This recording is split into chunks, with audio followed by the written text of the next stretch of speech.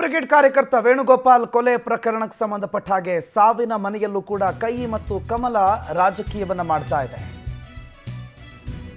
ಮೊದಲಿಗೆ ಕೋಮು ಬಣ್ಣ ಅಥವಾ ಸಿಗದೇ ಇದ್ರೆ ಅದು ಫಲಿಸದೇ ಇದ್ರೆ ರಾಜಕೀಯ ಬಣ್ಣ. ಇತ್ತೀಚಿನ ಬಹುತೇಕ ಹತ್ಯೆಗಳಿಗೆ ಅದು ಸರ್ವೇ ಸಾಮಾನ್ಯ ಆಗಿದೆ.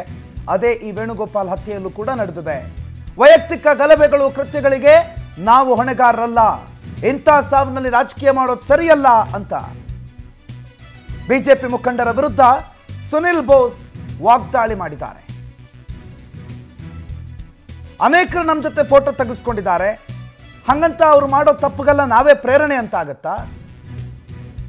ನನ್ನ ಜೊತೆ ಫೋಟೋ ತೆಗೆಸ್ಕೊಂಡವರೇ ಈ ಪ್ರಕರಣವನ್ನು ಮಾಡಿದ್ರು ಅಂತಂದ್ರೆ ಅವರಿಗೆ ನಾನು ಹೇಳಿ ಮಾಡಿದ್ರು ಅಂತ ಆಗತ್ತಾ?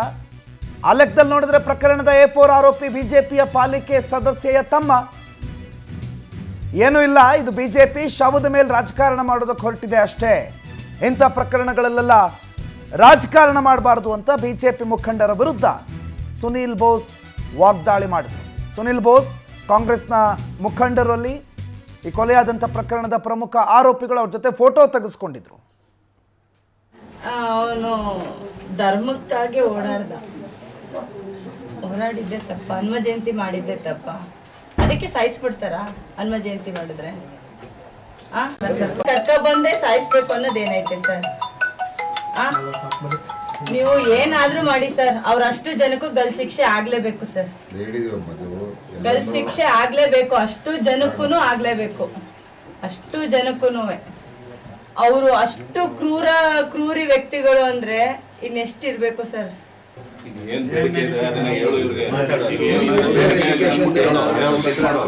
ಬ್ರಾಹ್ಮಣರೇ ಒಂದು ಇದನ್ನ ರಾಜಕೀಯವಾಗಿ ಎಳೆದ್ಬೇಡಿ.